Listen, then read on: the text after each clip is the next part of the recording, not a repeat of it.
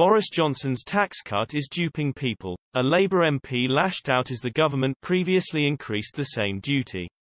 Labour MP Lucy Powell confronted Conservative MP Lucy Frazer by lifting the lid on the government's strategy to reduce taxes amid the cost of living crisis. In the spring statement, Chancellor of the Exchequer Rishi Sunak announced a rise in the national insurance threshold which he said will save the typical employee over £330 in the period from July till December.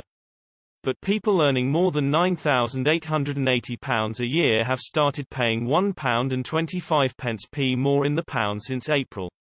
To Ms. Powell, the government is taking people for fools with an ineffective tax cut.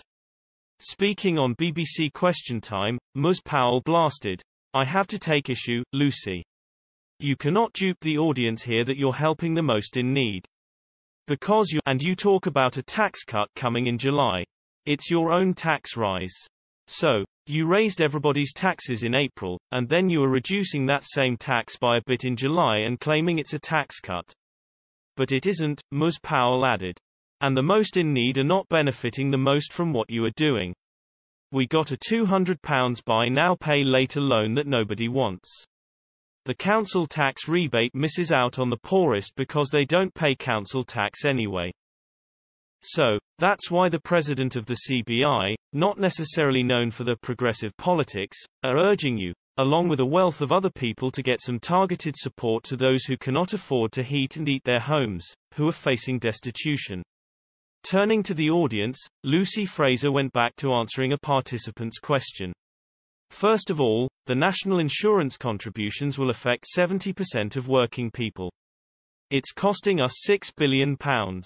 So, it is helping people across the board. Secondly, one of the reasons that taxes went up was to pay the health and social care levy. It was a tough decision that the government took, but we have taken a decision that many governments have been unwilling to take. How do we tackle the problem of social care? When we get old, there will be some support for us there. And thirdly, I'd just like to respond to Lucy's point. The Labour government have not said that they would take away that levy. There's no Labour government yet, noted Mo Hussein, panelist and former Home Office advisor. A long way of that, added